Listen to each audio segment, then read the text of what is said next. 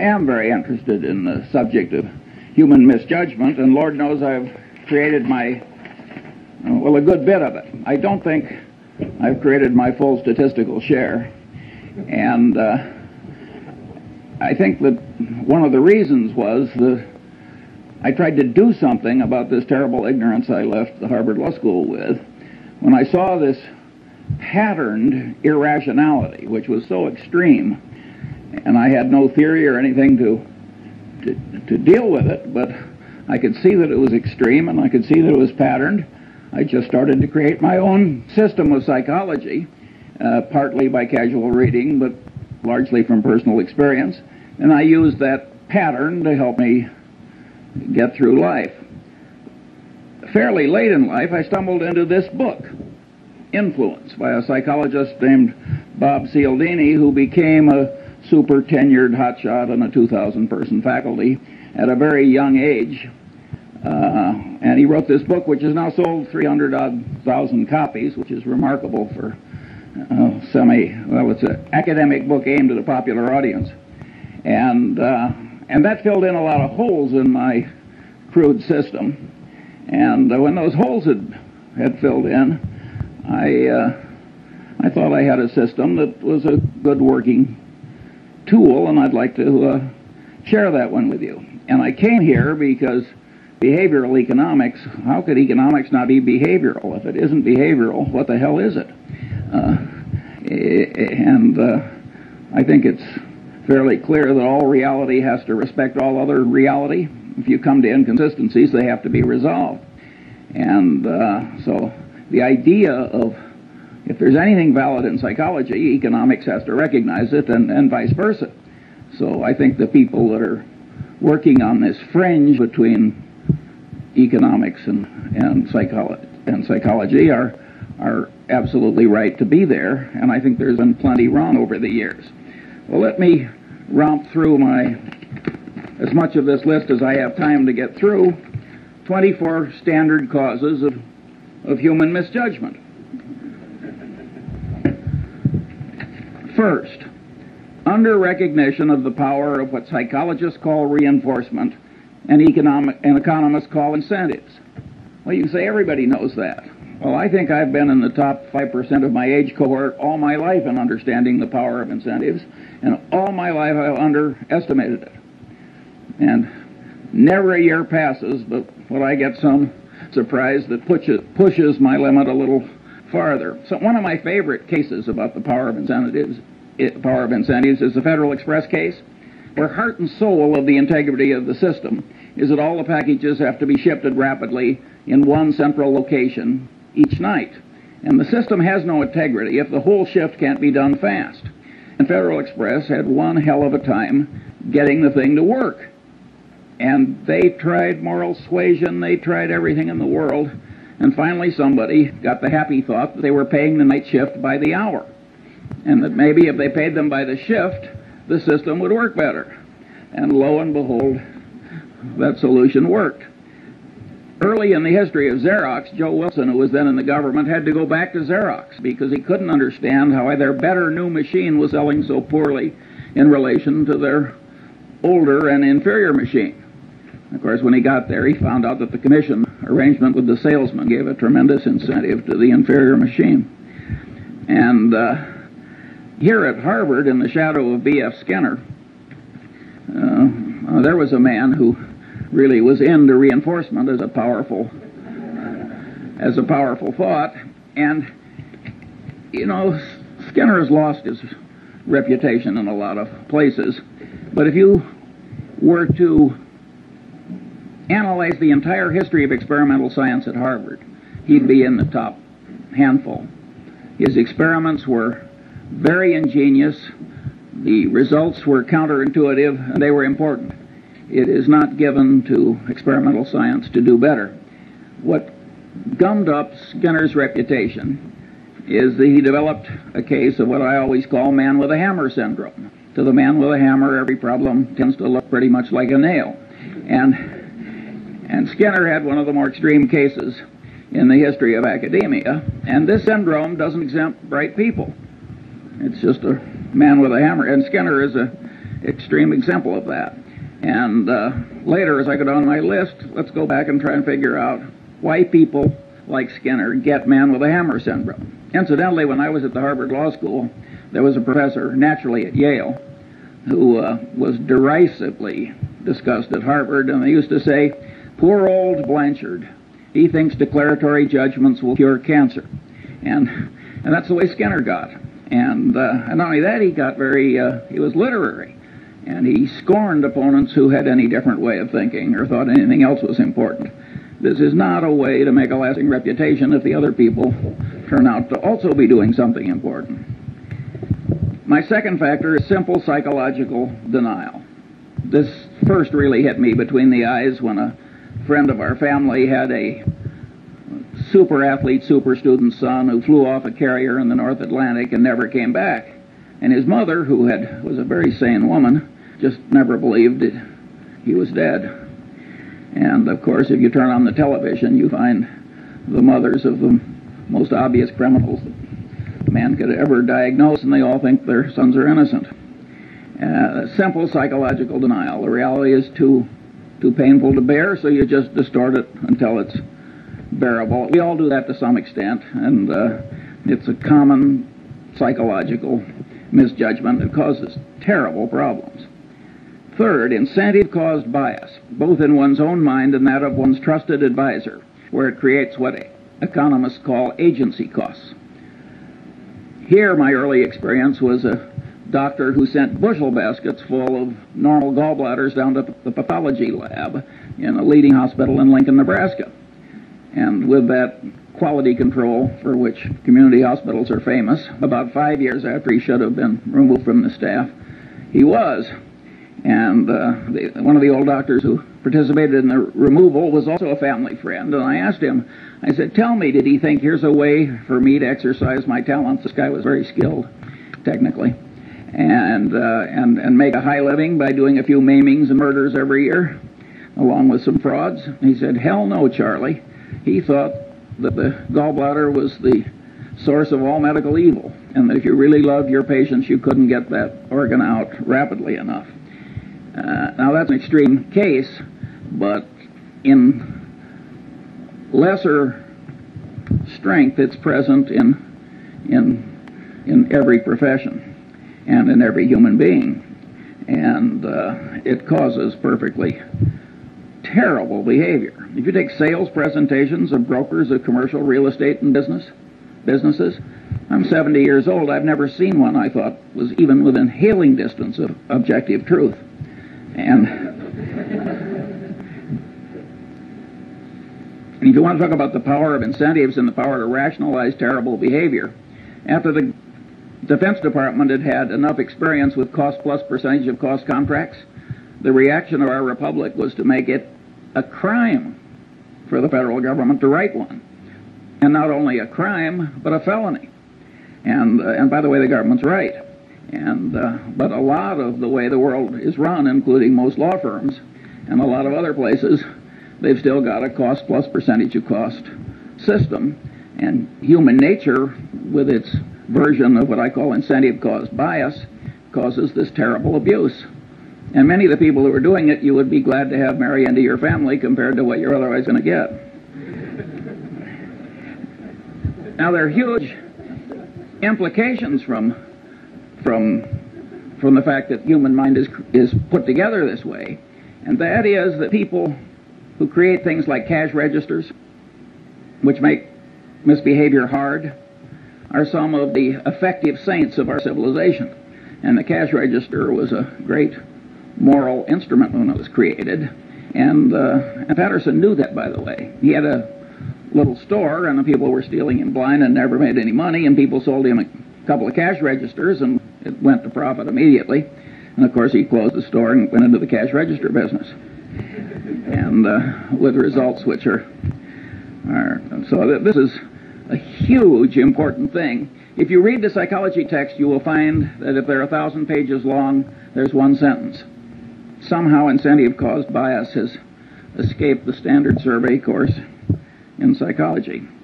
Fourth, and this is a superpower in error causing psychological tendency, Bias from consistency and commitment tendency, including the tendency to avoid or promptly resolve cognitive dissonance.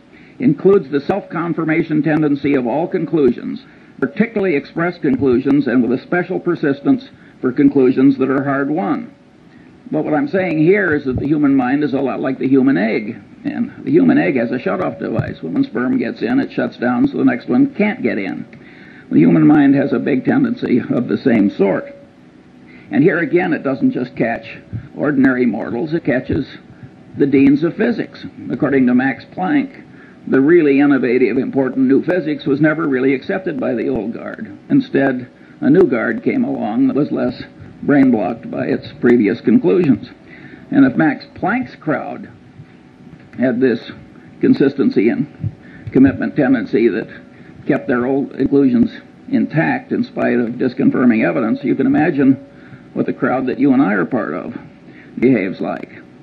Uh, and of course, if you make a public disclosure of your conclusion, you're pounding it in to your own head. Many of these students that are screaming at us, you know, they aren't convincing us, but they're they're forming mental chains for themselves because what they're shouting out, they're pounding in. And uh, and I think educational institutions that create a climate where too much of that goes on are, uh, in a fundamental sense, they're irresponsible institutions. Uh, it's very important to not put your brain in chains too young by what you shout out. Uh, and all these things like painful qualifying and initiation rituals and all those things pound in your your commitments and your ideas and uh, the Chinese brainwashing system, which was for war prisoners, which was way better than anybody else's. They maneuvered people into making tiny little commitments and declarations, and then they'd slowly build. That worked way better than torture. Sixth, bias from Pavlovian association, misconstruing past correlation as a re- reliable basis for decision making. I never took a course in psychology or economics either, for that matter, and uh, but I did learn about Pavlov in high school biology, and uh, and the way they taught it, you know, so the dog salivated when the bell rang. So what? You know, it, nobody made the least effort to tie that to the wide world. Well, the truth of the matter is that Pavlovian association is an enormously powerful psychological force in the daily life of all of us. And indeed, in economics, uh, we wouldn't have money without the role of so-called secondary reinforcement, which is a pure psychological uh, phenomenon demonstrated in the in the laboratory. Practically, I'd say three quarters of advertising works on pure Pavlov. I mean, think how association, pure association works. Take Coca-Cola Company, where we're the biggest shareholder. They want to be associated with every wonderful image. Heroics in the Olympics, wonderful music, you name it. They don't want to be associated with presidents' funerals and so forth. When have you seen a Coca-Cola ad? And the, the association really works. And all these psychological tendencies work largely or entirely at a, on a subconscious level, which is which makes them very insidious. Then you've got Persian messenger syndrome. The Persians really did kill the messenger who brought the bad news. You think that is dead? I mean, you should have seen Bill Paley in his last 20 years. He didn't hear one damn thing he didn't want to hear. People knew that it, that it, that it was bad for the messenger to, to, to bring Bill Paley things he didn't want to hear. Well, that means that the leader gets in a cocoon of unreality. And it's a great big enterprise, and boy, did he make some dumb decisions in the last 20 years. And uh, no, Persian mess- messenger syndrome is alive and well. When I saw some years ago Arco and Exxon arguing over a few hundred millions of ambiguity in their North Slope treaties before a Superior Court judge in Texas with armies of lawyers and experts on each side. Now, this is a Mad Hatter's Tea Party. Two engineering style companies can't resolve some ambiguity without spending tens of millions of dollars in some Texas Superior Court. In my opinion, what happens is that nobody wants to bring the bad news to the executives up the line. That here's a few hundred million dollars you thought you had that you don't, and it's much safer to act like the Persian messenger who goes away to hide rather than bring home the news of the battle lost. talking about economics, you get a very interesting phenomenon that I've seen over and over again in a long life. You've got two products. Suppose they're complex technical product.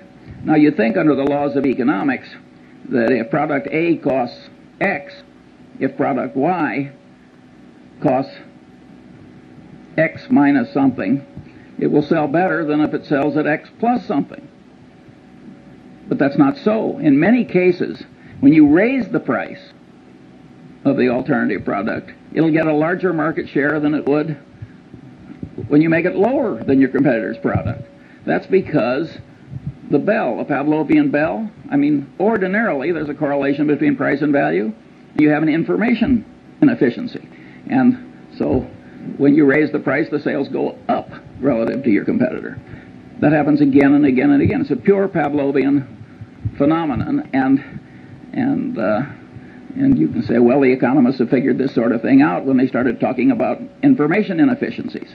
But that was fairly late in economics that they found such an obvious thing. And of course, most of them don't ask what causes the information inefficiencies. Well, one of the things that causes it is pure old Pavlov and his dog. Now you've got bias from Skinnerian association, operant conditioning, you know, where you give the dog a reward and uh, and and and pound in the behavior that uh, preceded the dog's getting the award. And of course, Skinner was able to create superstitious pigeons by having rewards come, you know, by accident with certain occurrences. And of course, we all know people who are the human equivalents of superstitious pigeons. That's a very powerful phenomenon. And of course, operant conditioning really works. I mean, the people in the center who think that operant conditioning is uh, is important are, are are very much right. It's just that the Skinner overdid it a little. Where you see in business just perfectly horrible results from psychological psychologically rooted tendencies is in accounting. If you take Westinghouse, which blew what two or three billion dollars pre-tax at least, loaning developers to build hotels and virtually 100% loans. Now you say any idiot knows that there's one thing you don't like, it's a developer, another you don't like, it's a hotel. And to make a 100% loan to a developer who's going to build a hotel, but but this guy, he, he probably was an engineer or something, and he didn't take psychology any more than I did, and he got out there in the hands of these slick salesmen operating under their version of incentive caused bias, where any damn way of getting Westinghouse to do it was considered normal business, and they just blew the. That would never have been possible if the accounting system hadn't been such that for the initial phase of every transaction, it showed wonderful financial results. So people who have loose accounting standards are just inviting perfectly horrible behavior in other people uh, and it's a sin. It's an absolute sin. To, if you carried bushel baskets full of money through the ghetto and made it, made it easy to steal, that would be a considerable human sin because you'd be causing a lot of bad behavior, and the bad behavior would spread. Similarly, an institution that gets sloppy accounting uh, commits a, a real human sin, and it's also a dumb way to do business, as Westinghouse has so wonderfully proved oddly enough, nobody mentions, at least nobody I've seen, what happened with Joe Jett and Kidder Peabody. The truth of the matter is the accounting system was such that by punching a few buttons, the Joe Jetts of the world could show profits, and profits that showed up in things that resulted in rewards and esteem and every other thing that human being. Well, the Joe Jetts are always with us, and they're not really to blame, in my judgment at least. But that bastard who who created that foolish accounting system, who, so far as I know, has not been played alive, ought to be. Seventh, bias from reciprocation tendency, including the tendency of one in a role to act as other persons expect. Well, here again, Cialdini does a magnificent job at this, and you're all going to be given a copy of Cialdini's book. And if you have half as much sense as I think you do, you will immediately order copies for all of your children and several of your friends. You will never make a better investment. Uh, it is so easy to be a patsy for what he calls the compliance practitioners of this life. And uh, but at any rate, reciprocation tendency is a very, very powerful phenomenon. And Cialdini demonstrated this by running around a campus, and he asked people to to take juvenile delinquents to the zoo. And it was a campus, and so one in six actually agreed to do it. And uh, and after he'd accumulated the statistical output, he went around on the same campus and he asked other people. He said, "Gee, would you devote two afternoons a week to taking juvenile delinquents somewhere and suffering greatly yourself to help them?" And there he got 100% of the people to say no. But after he'd made the first request, he backed off a little. He said, Well, would you at least take them to the zoo one afternoon? He raised the compliance rate from a third to a half. He got three times the success by just going through the little ask for a lot and back off. Now, if the human mind on a subconscious level can be manipulated that way, and you don't know it, well, I always use the phrase, you're like a one legged man in an ass kicking contest. I mean, you are. I mean, you are really giving a lot of quarter to the external world that you you you can't afford to give. And uh, on this so-called role theory, where you tend to act in the way that other people expect, that's reciprocation. If you think about the way society is organized, and a guy named Zimbardo had people at Stanford divide into two pieces. One were the guards and the other were the prisoners. And they started acting out roles as people expected. He had to stop the experiment after about five days. He was getting into human misery and breakdown and pathological behavior. I mean, it was it was it was awesome. However, Zimbardo was greatly misinterpreted. It's not just reciprocation tendency and role theory that caused that. It's consistency and commitment tendency. Each person, as he acted as a guard or a prisoner, the action itself was pounding in the idea. Wherever you turn, this consistency and commitment tendency is, is affecting you. In other words, what you think may change what you do, but perhaps even more important, what you do will change what you think. And you can say everybody knows that. I want to tell you I didn't know it well enough early enough. Eight, now, this is a Lollapalooza, and Henry Kaufman wisely talked about this.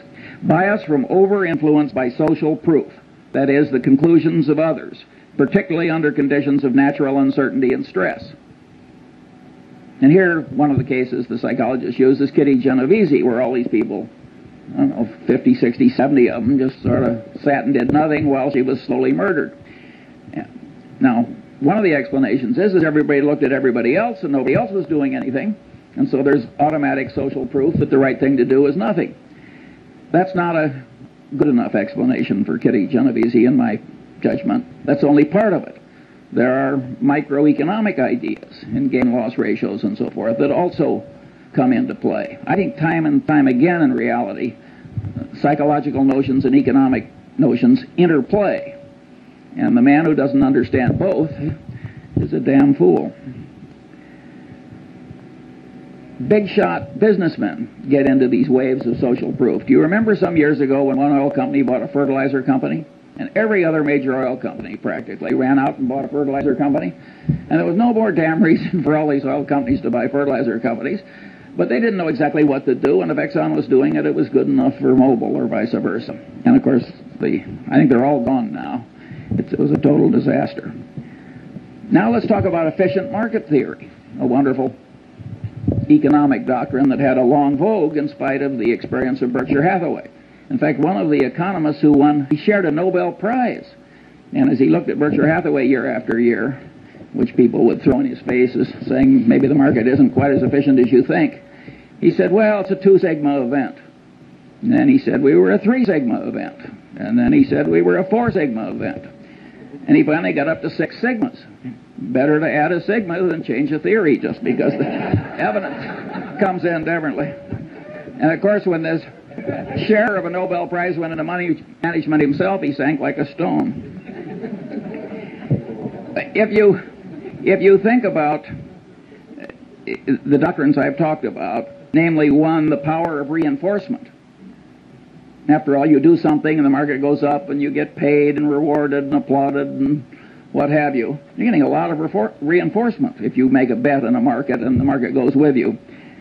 Also, there's social proof. I mean, the, the prices in the market are the ultimate form of social proof, reflecting what other people think.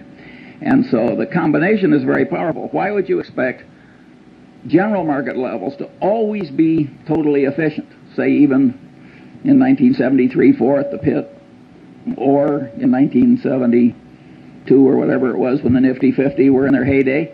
Uh, if these psychological notions are correct, you would affect, you would expect some waves of irrationality, which which carry general levels to to uh, to um, so they're inconsistent with with with reason. Nine, what made these economists love the efficient market theory is the math was so elegant, and after all, math was what they'd learned to do. The man with a hammer, every problem tends to look pretty much like a nail. The alternative truth was a little messy, and they'd forgotten the great economist Keynes, whom I think said, better to be roughly right than precisely wrong. Nine, bias from contrast caused distortions of sensation, perception, and cognition. Here, the great experiment that Cialdini does in his class is he takes three buckets of water. One's hot, one's cold, and one's room temperature. He has the student stick his left hand in the hot water and his right hand in the cold water. Then he has them remove the hands and put them both in the room temperature bucket.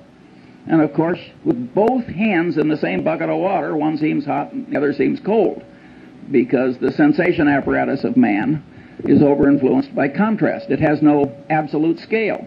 It's got a contrast scale in it. And it's a scale with quantum effects in it, too. It takes a certain percentage change before it's noticed. Maybe you've had a magician remove your watch. I certainly have without your noticing it.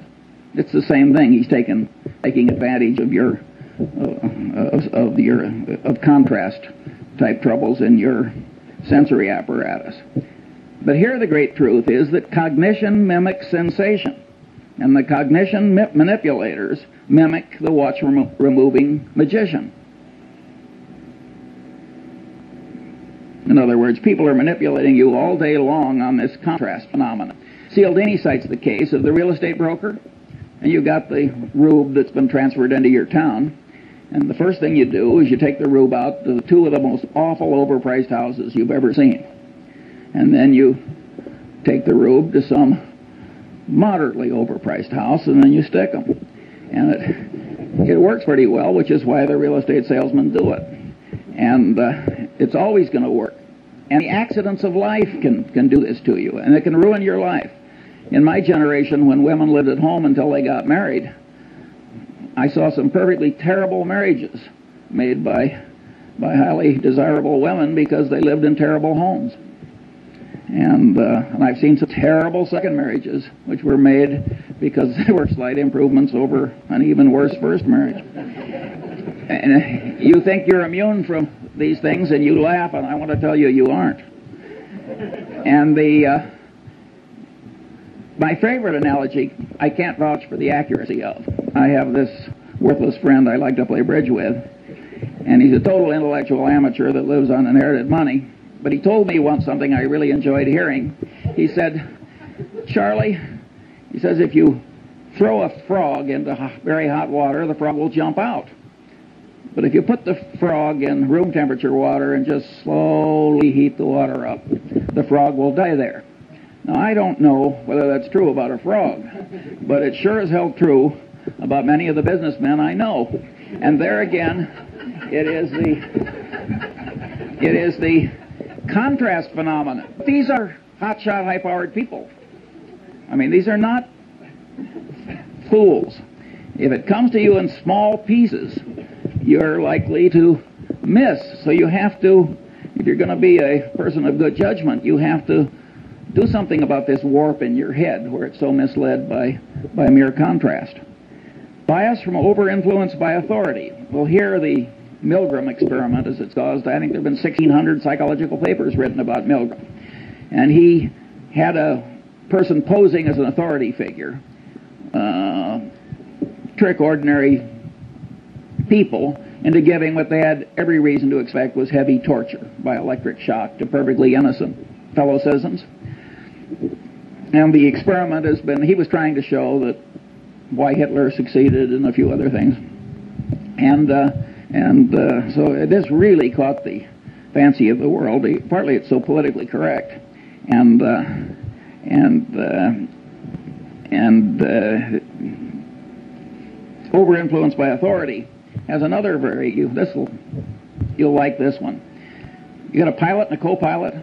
The pilot is the authority figure. They don't do this in airplanes, but they've done it in simulators. They have the pilot do something where the co-pilot, who's been trained in simulators a long time, he knows he's not to allow the plane to crash.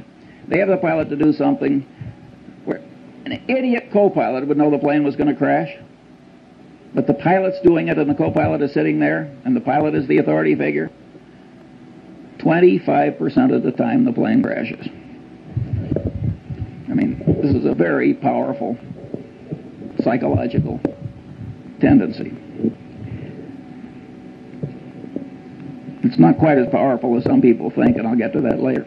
11. Bias from deprival superreaction syndrome, including bias caused by present or threatened scarcity, including threatened removal of something almost possessed but never possessed. Here I took the Munger dog. Lovely, harmless dog. The one way, the only way to get that dog to bite you was to try and take something out of its mouth after it was already there. And any of you who've tried to do takeaways in labor negotiations will know that the human version of that dog is there in all of us. And uh, I had a neighbor, on a, a neighbor, a predecessor on a little island where I have a house, and his next door neighbor put a little pine tree in that was about three feet high, and it turned his 180 degree view of the harbor into 179 and three quarters. Well, they had a blood feud like the Hatfields and the McCoys, and it went on and on and on. And I mean, people are really crazy about minor decrements down, and uh, and then if you act on them, you get into reciprocation tendency because you don't just reciprocate affection, you reciprocate animosity, and the whole thing can escalate. And so, huge insanities can come from from just subconsciously overweighing the importance of what you're losing or almost getting and not getting. And uh, the extreme business case here was New Coke. Now, Coca-Cola has the most valuable trademark in the world. We're the major shareholder. I mean, we, I think we understand that trademark. Coke has armies of brilliant engineers, lawyers, psychologists, advertising executives, and so forth. And they had a trademark on a flavor, and they'd spent the better part of a hundred years getting people to believe that trademark had all these intangible values too. And people associated it with a flavor.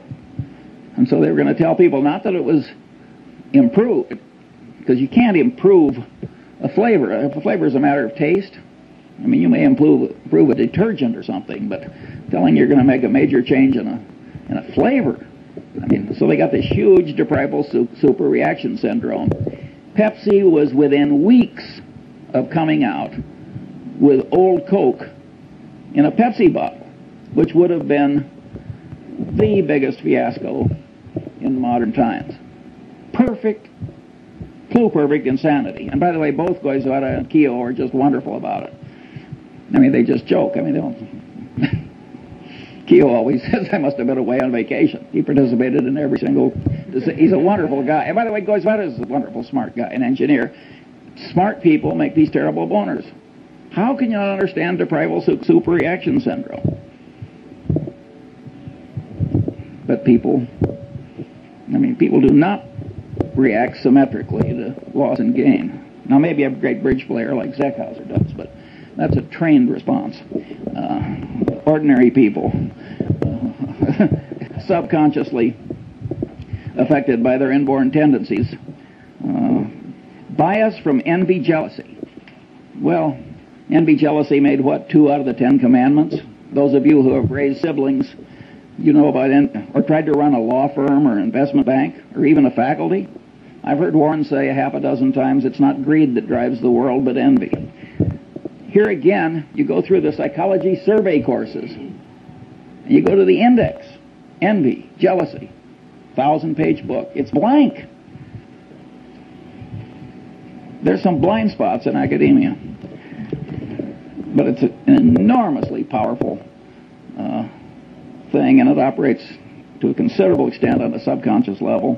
And anybody who doesn't understand it is is uh, is taking on defects he shouldn't have.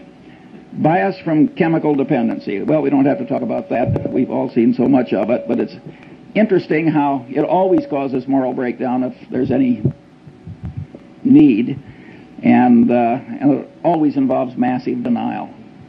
So it's just, it, it aggravates what we talked about earlier in the aviator case, the tendency to distort reality so that it's endurable.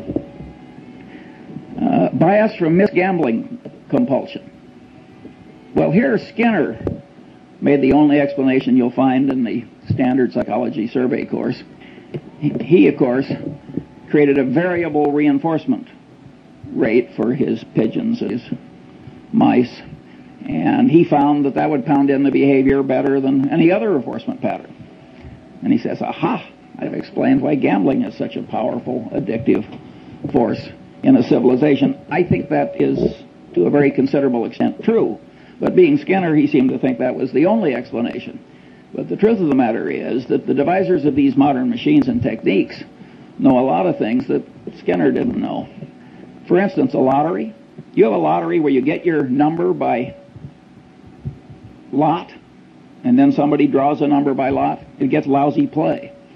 You get a lottery where people get to pick their number, get big play.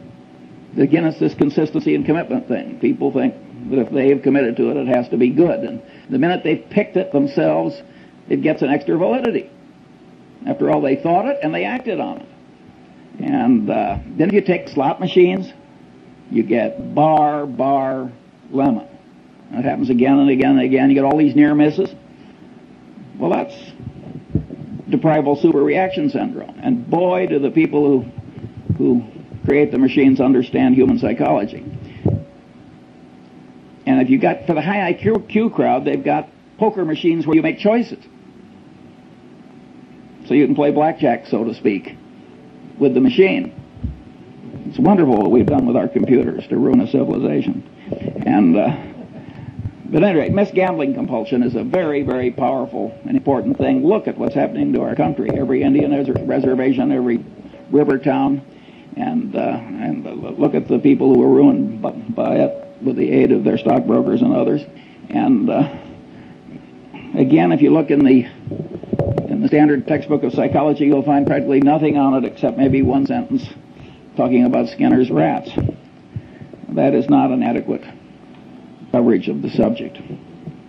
Bias from liking distortion, including the tendency to especially like oneself, one's own kind, and one's own idea structures and the tendency to be especially susceptible to being misled by someone liked. Disliking distortion, bias from that. The reciprocal of liking distortion, and the tendency not to learn appropriately from someone disliked. Well, here again, we've got hugely powerful tendencies, and if you look at the wars in part of the Harvard Law School as we sit here, you can see that very brilliant people get into this almost pathological behavior. And uh, th- these are very, very powerful, basic subconscious psychological tendencies, or at least partly subconscious.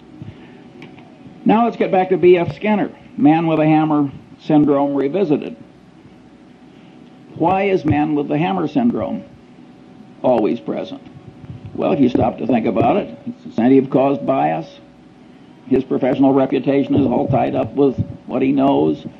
He likes himself and he likes his own ideas. And uh, and uh, he's expressed them to other people consistency and commitment tendency i mean you got four or five of these elementary psychological tendencies combining to create this man with a hammer syndrome once you realize that that you can't really buy your thinking done partly you can but largely you can't in this world you have learned a lesson that's very useful in life. George Bernard Shaw said, and had a character say in The Doctor's Dilemma, in the last analysis, every profession is a conspiracy against the laity. But he didn't have it quite right because it isn't so much conspiracy as it is a subconscious psychological tendency. The guy tells you what is good for him. He doesn't recognize that he's doing anything wrong any more than that doctor did when he was pulling out all those normal gallbladders. And uh, he believes that his own idea structures will cure cancer. And he believes that that uh, that the guardian that the demons that he's the guardian against are the biggest demons and the most important ones. And in fact, they may be very small demons compared to the demons that you face. So you're getting your advice in this world from your paid advisor with this huge load of ghastly bias. And woe to you. There are only two ways to handle it. You can hire your advisor and then just apply a windage factor, like I used to do when I was a rifle shooter. I just adjust for so many miles an hour of wind. And or you can learn the basic elements of your advisor's trade. You don't have to learn very much, by the way, because you learn just a little, and then you can make him explain why he's right. And those two tendencies will take part of the warp out of the thinking you've tried to hire done.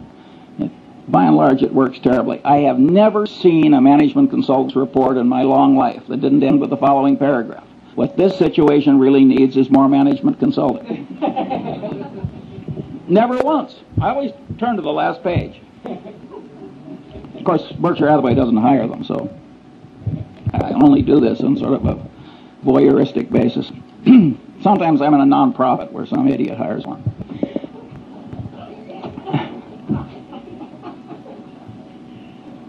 Seventeen.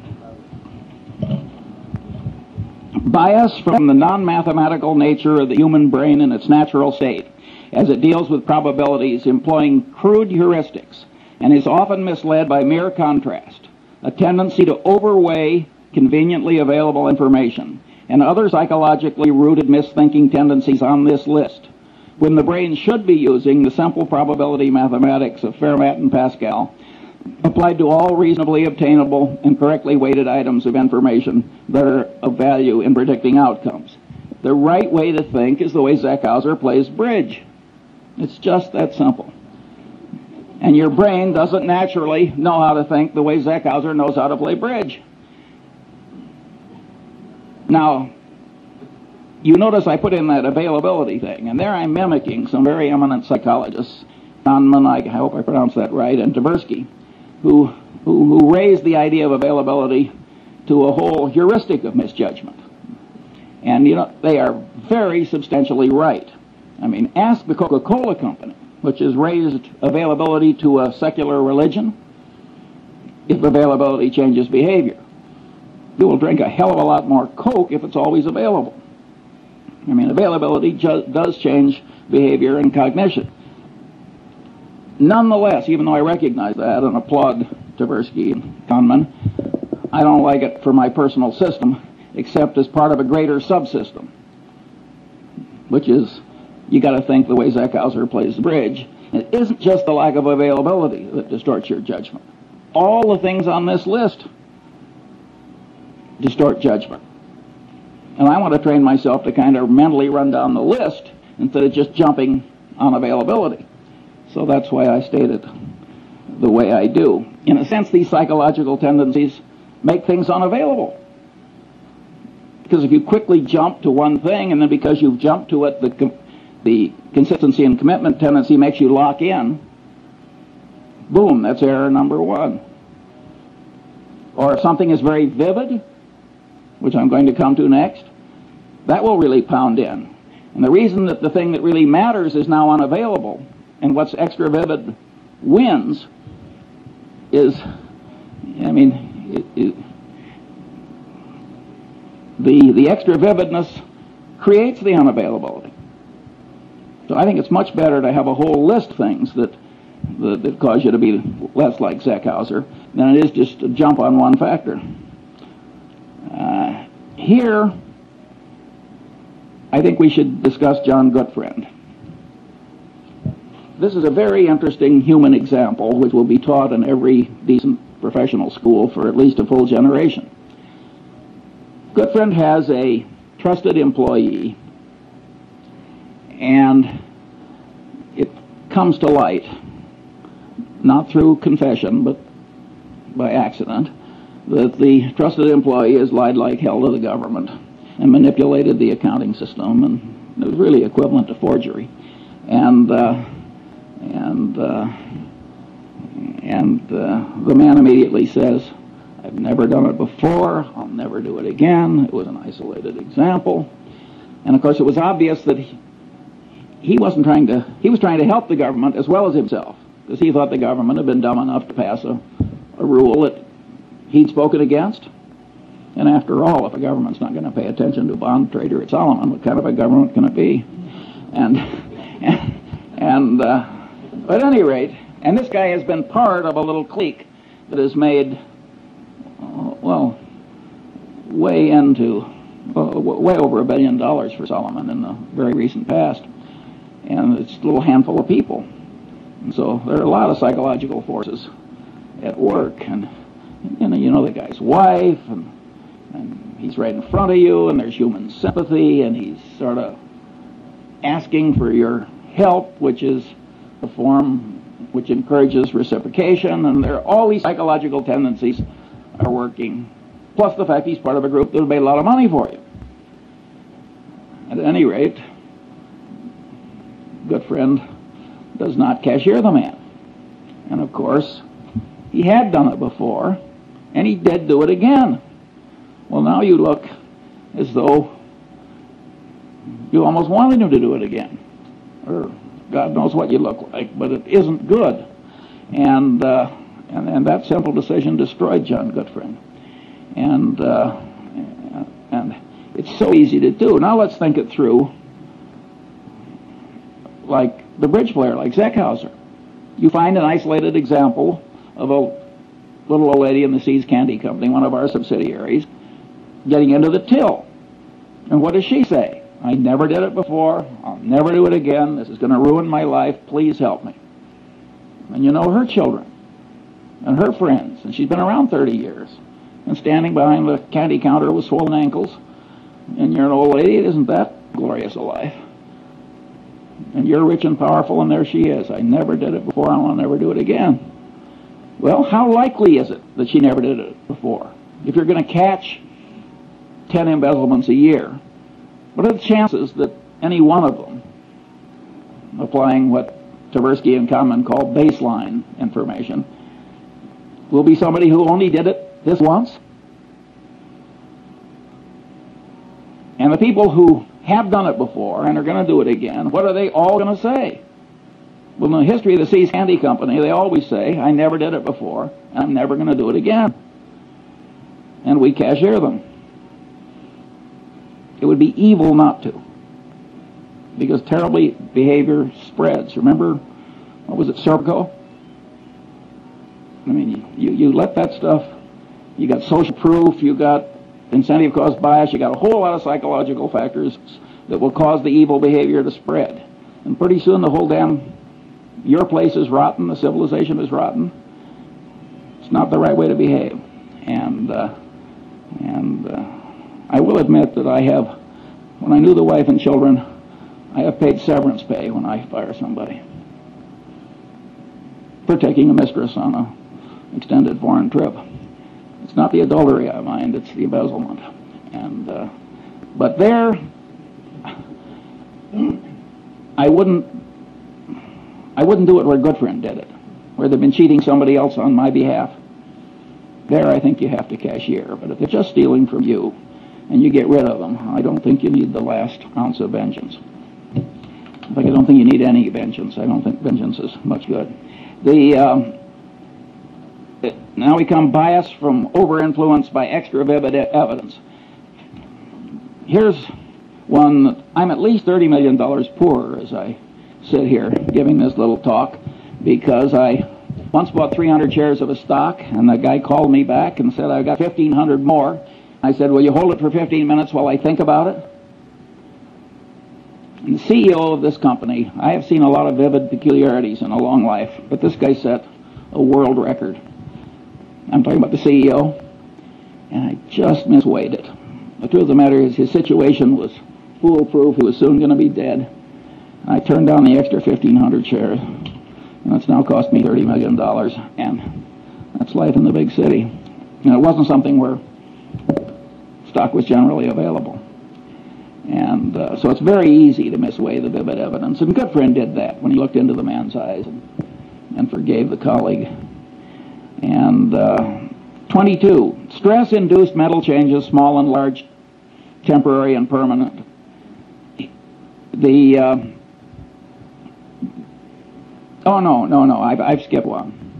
Mental confusion caused by information not arrayed in the mind in theory structures, creating sound generalizations developed in response to the question why. Also, misinfluence from information that apparently but not really answers the question why. Also, failure to obtain deserved influence caused by not properly explaining why. Well, we all know people who flunk, and they try and memorize, and they try and spout back, and they just, it doesn't work. The brain doesn't work that way. You've got to array facts on theory structures answering the question why. If you don't do that, you just you cannot handle the world. And now we get to Feuerstein, who was the general counsel of Salomon when Gutfreund made his big error. And Feuerstein knew better. He told Gutfreund, you have to report this as a matter of morality and prudent business judgment.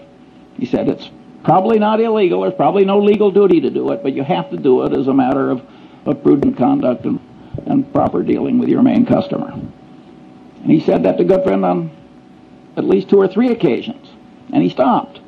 And of course, the persuasion failed. And when Gutfreund went down, Feuerstein went with him.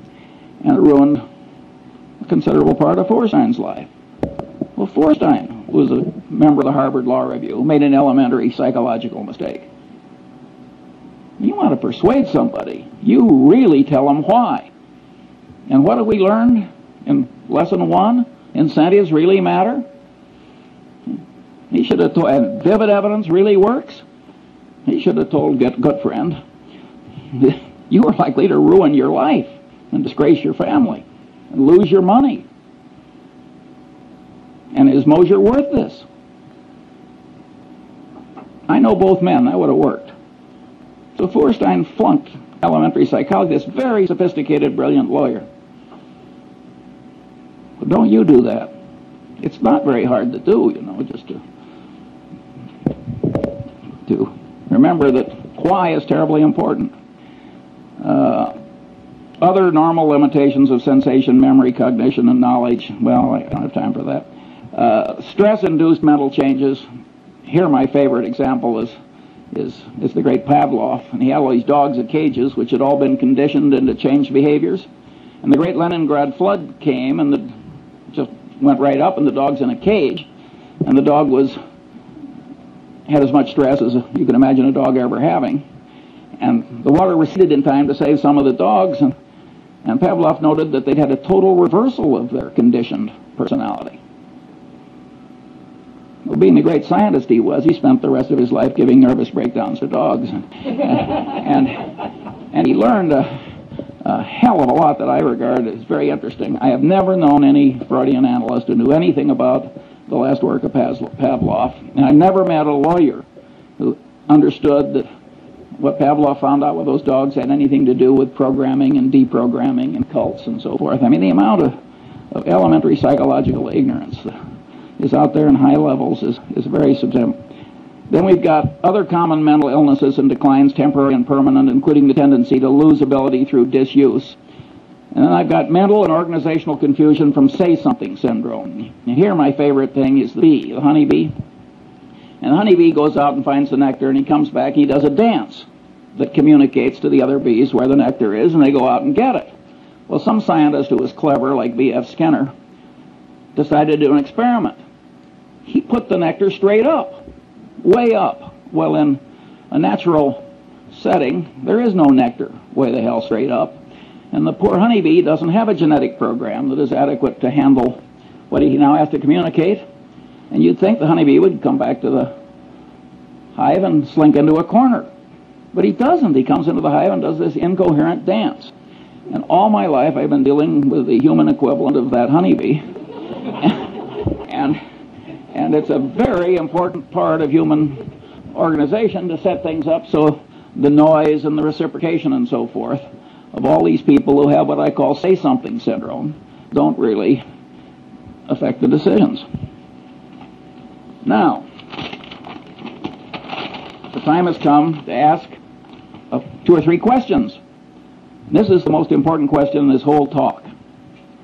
What happens when these standard psychological tendencies combine? What happens when the situation or the artful manipulation of man causes several of these tendencies to operate on a person toward the same end at the same time? The clear answer is the combination greatly increases power to change behavior compared to the power of merely one tendency acting alone. Examples are Tupperware parties. Tupperware has now made billions of dollars out of a few manipulative psychological tricks. It was so schlock that directors of Justin Dart's company resigned when he crammed it down his board's throat. And he was totally right, by the way, judged by economic outcomes. Moonie conversion methods. Boy, do they work. He just combines four or five of these things together. The system of Alcoholics Anonymous. A 50% no drinking rate. Outcome when everything else fails. It's a very clever system that uses four or five psychological systems at once toward, I might say, a very good end. The Milgram experiment.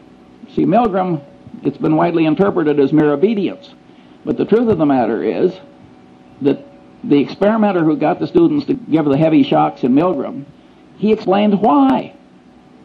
It was a false explanation. We need this to look for scientific truth and so on. That greatly changed the behavior of the people. And number two, he worked them up. Tiny shock, little larger, little larger. So commitment and consistency tendency and the contrast principle were both working in favor of this behavior. So again, it's four different psychological tendencies. That's when you get these Lollapalooza effects, you will almost always find four or five of these things working together. When I was young, there was a whodunit hero who always said, cherchez la femme. And what you should search for in life is the combination, because the combination is likely to do you in. Or if you're the inventor of Tupperware parties, it's likely to make you enormously rich if you can stand shaving when you do it. Then one of my favorite cases is the McDonnell Douglas airliner evacuation disaster. The government requires that airliners pass a, a bunch of tests. One of them is evacuation. Get everybody out, I think it's 90 seconds or something like that. It's some short period of time. The government has rules, make it very realistic, so on and so on.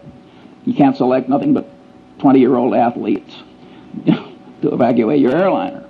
So McDonnell Douglas schedules one of these things in a hangar, and they make the hangar dark, and the concrete floor is 25 feet down, and they got these little rubber chutes, and they got all these old people, and they ring the bell, and they all rush out, and in the morning, when the first test is done, they create, I don't know, 20 terrible injuries, will go off to hospitals. And of course, they scheduled another one for the afternoon. Uh, by the way, they didn't meet the time schedule either, in addition to causing all the injuries. Well, uh, so what do they do? They do it again in the afternoon. Now they create 20 more injuries and one case of a severed spinal column with permanent unfixable paralysis. These are engineers, these are brilliant people, this is thought over through in a big bureaucracy. Again, it's a combination of attendance. Authorities told you to do it. He told you to make it realistic. You've decided to do it. You've decided to do it twice. Incentive caused bias. If you pass, you save a lot of money. You've got to jump this hurdle before you can sell your new airliner. Again, three, four, five of these things work together and it turns human brains into mush. And maybe you think this doesn't happen in picking investments? if so, you're living in a different world than I am. Finally, the open outcry auction. The open outcry auction is just made to turn the brain into mush. You get social proof, the other guy is bidding, you get reciprocation tendency, you get deprival superreaction syndrome, the thing is going away. I mean, it's just absolutely designed to, to manipulate people into idiotic behavior. Finally, the institution of the board of directors of a major human American company. Well, the top guy is sitting there. He's an authority figure. He's doing asinine things. You look around the board, nobody else is objecting. Social proof, it's okay. Reciprocation tendency, he's raising the director's fees every year. He's flying you around in the corporate airplane to look at interesting plants or whatever the hell they do. And you go. And you really get extreme dysfunction as a corrective decision making body in the typical American board of directors. They only act, again, the power of incentives, they only act when it gets so bad that starts reflecting, making them look foolish or threatening legal liability to them. That's Munger's rule. I mean, there are occasional uh, things that don't follow Munger's rule, but by and large, the board of directors is a very ineffective corrector if the if the top guy is a little nuts, which of course frequently happens. The second question isn't this list of standard psychological tendencies improperly tautological compared with the system of Euclid? That is, aren't there overlaps, and can't some items on the list be derived from combinations of other items? The answer to that is plainly yes.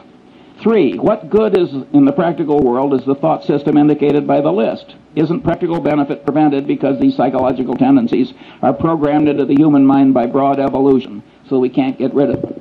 Broad evolution, I mean the combination of genetic and cultural evolution, but mostly genetic?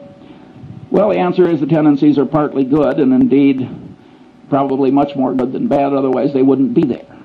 By and large, these rules of thumb have worked pretty well for man given his limited mental capacity, and that's why they were programmed in by, by broad evolution. At any rate, they can't be simply washed out automatically, and they shouldn't be. Nonetheless, the psychological thought system described is very useful in spreading wisdom and good conduct when, un- when one understands it and uses it constructively. Here are some examples. Carl Braun's communication practices. He designed oil refineries with spectacular skill and integrity. He had a very simple rule. Remember I said why is important? You got fired in the Braun Company. You had to have five W's. You had to tell who what you wanted to do, where and when, and you had to tell him why. And if you wrote a communication and left out the why, you got fired. Because Braun knew it's complicated building an oil refinery. And it can blow up, all kinds of things happen. And he knew that his communication system worked better if you always told him why. That's a simple discipline, and boy, does it work. Two, the use of simulators in pilot training. Here again, abilities attenuate with disuse. Well, the simulator is God's gift because you can keep them fresh the system of Alcoholics Anonymous. That's certainly a constructive use of somebody understanding psychological tendencies. I think they just blundered into it, as a matter of fact. So you can regard it as kind of an evolutionary outcome. But just because they blundered into it doesn't mean you can't invent its equivalent when you need it for a good purpose. Clinical training in medical schools. Here's a profoundly correct way of understanding psychology. The standard practice is watch one, do one, teach one. Boy, does that pound in what you want pounded in. Again, the consistency and commitment tendency. And uh, that is a profoundly correct way to teach clinical medicine. The rules of the U.S. Constitutional Com- Convention. Totally secret, no vote until the final vote, then just one vote on the whole Constitution. Very clever psychological rules. And if they had a different procedure, everybody would have been pushed into a corner by his own pronouncements and his own oratory and his own and, and no recorded votes until the last one, and uh, and they got it through by a whisker with those wise rules. We wouldn't have had the Constitution if our forefathers hadn't been so psychologically acute. And look at the crowd we got now. Six, the use of Granny's rule. I love this. Uh, one of the psychologists who works with the center gets paid a fortune running around America, and he teaches executives to manipulate themselves. Now, Granny's rule is you, you don't get the ice cream unless you eat your carrots. Well, Granny was a very wise woman. That is a very good system. And uh, so this guy, very eminent psychologist, he runs around the country telling executives to organize their day. So they force themselves to do what's unpleasant and important by doing that first and then rewarding themselves with something they really like doing. He is profoundly correct. Seven, the Harvard Business School's emphasis on decision trees. When I was young and foolish, I used to laugh at the Harvard Business School. I said, they're teaching 28 year old people that high school algebra works in real life. We're talking about elementary probability. But later I I wised up and I realized that it was very important that they do that, and better late than never. Eight, the use of postmortems at Johnson & Johnson. At most corporations, if you make an acquisition and it works out to be a disaster, all the paperwork and presentations that caused the dumb acquisition to be made are quickly forgotten. You got denial, you got everything in the world. You got Pavlovian association tendency. Nobody wants to even be associated with the damn thing or even mention it. Johnson and Johnson, they make everybody revisit their old acquisitions and wade through the presentations. That is a very smart thing to do. And by the way, I do the same thing routinely. Nine, the great example of Charles Darwin is he avoided confirmation bias. Darwin probably changed my life because I'm a biography nut. And, and I, when I found out the way he always paid extra attention to the disconfirming evidence and all these little psychological tricks, I also found out that he wasn't very smart by the standards, the ordinary standards of human acuity. Yet there he is, buried in Westminster Abbey. That's not where I'm going, I'll tell you. And, and I said, my God, here's a guy that, by all objective evidence, is not nearly as smart as I am, and he's in Westminster Abbey. He must have tricks I should learn. And I started wearing little hair shirts like Darwin to try and train myself out of these subconscious psychological tendencies that cause so many errors. It didn't work perfectly, as you can tell from listening to this talk, but it would have, it would have been even worse if I hadn't hadn't done what I did. And you can know these psychological tendencies and avoid being the patsy of all the people that are trying to manipulate you to your disadvantage, like Sam Walton. Sam Walton will let a purchasing agent take a handkerchief from a salesman. He knows how powerful the subconscious reciprocation tendency is. That is a profoundly correct way for Sam Walton to behave. Then there's the Warren Buffett rule for open outcry auctions. Don't go. We don't go to the closed bid auctions too because they uh, that's a counterproductive way to do things ordinarily for a different reason, which Zeckhauser would understand. Four, what special knowledge problems lie buried in the thought system indicated by the list? Well, one is paradox. Now we're talking about a type of human wisdom that the more people learn about it, the more attenuated the wisdom gets. That's an intrinsically paradoxical kind of wisdom. But we have paradox in mathematics, and we don't give up mathematics. I say, damn the paradox. This stuff is wonderfully useful. And by the way, the, the granny's rule, when you apply it to yourself, is sort of a paradox in a paradox. The, the manipulation still works even though you know you're doing it. And I've seen that done by one person to another. I drew this beautiful woman as my dinner partner a few years ago, and I'd never seen her before, although she's married to a prominent Angeleno, and she sat down next to me and she turned her beautiful face up and she said, Charlie, she said, what one word accounts for your remarkable success in life? Now, I knew I was being manipulated and that she'd done this before, and I just loved it. I, I, I never see this woman without a little lift in my spirits. And by the way, I told her I was rational.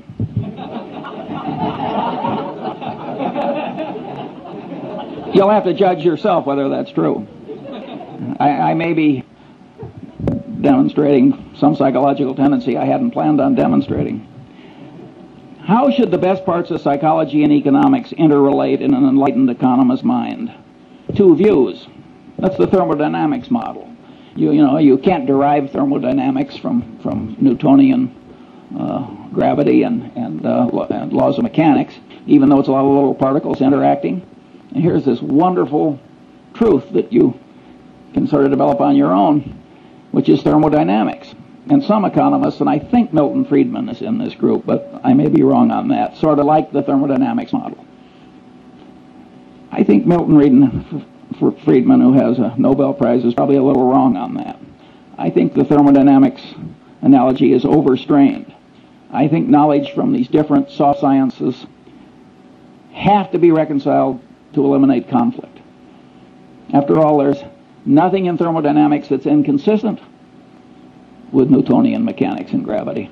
And I think that some of these economic theories are not totally consistent with other knowledge and they have to be bent. And I think that these behavioral economics or economists are probably the ones that are bending them in a correct direction.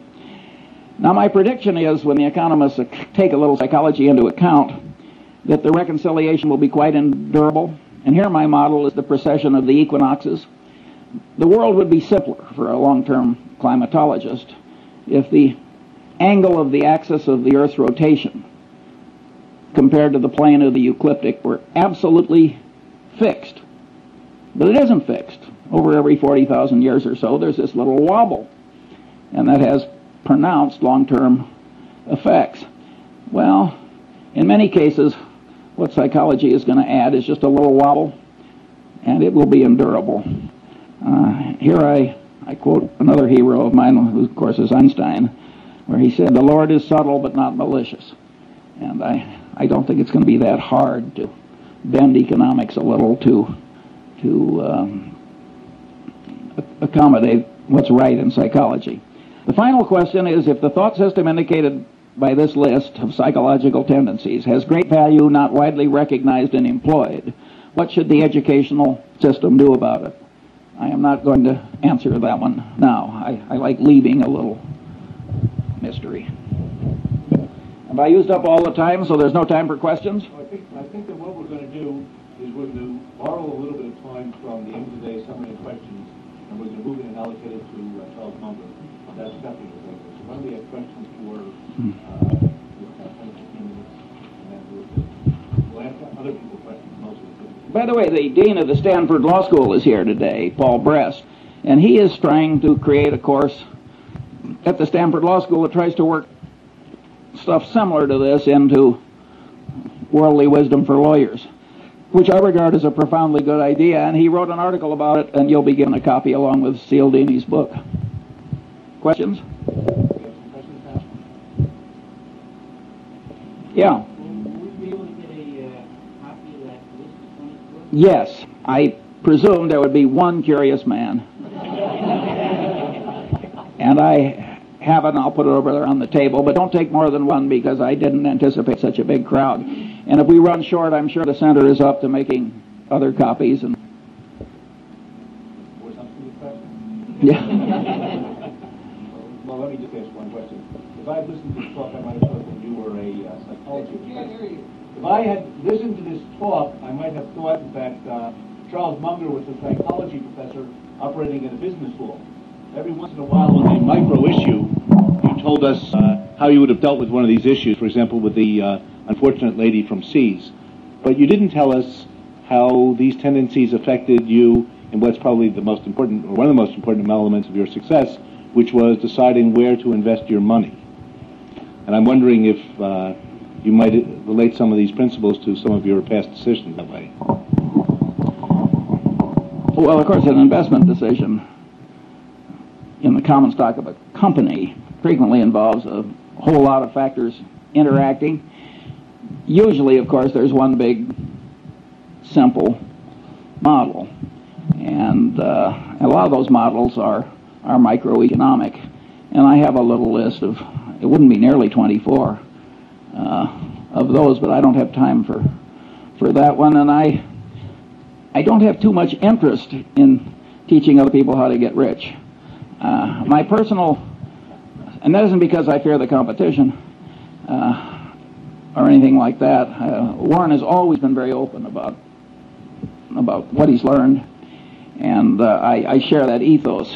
Uh, my personal behavior model is, is Lord Keynes. I wanted to get rich so I could be independent. Uh, and so I could do other things like give talks on the intersection of psychology and economics. Uh, I didn't want to turn it into a total obsession. Yeah. Out of those 24, could you tell us the one I would say the one thing that causes the most trouble is when you combine a bunch of these together, you get this Lollapalooza effect. And if you, again, if you read the psychology textbooks, they don't discuss how these things combine, at least not very much. Do they multiply? Do they add? What, how does it work? I think it would be just an automatic subject for, for research, but it doesn't seem to turn the psychology establishment on. I think this is a like this is a man for Mars approach to psychology. I just reached in and took what I thought I had to have. That is a different set of incentives from rising in an economic establishment where the reward system, again, the reinforcement, comes from being a truffle hound. That's what Jacob Viner, the great economist, called it, the truffle hound. An animal so bred and trained for one narrow purpose that he wasn't much good at anything else. And that is the reward system in a lot of academic departments. It is not necessarily for the good. It may be fine if you want new drugs or something. You want people stunted in a lot of different directions so they can grow in one narrow direction. But I don't think it's good teaching psychology to the, the masses. In fact, I think it's terrible.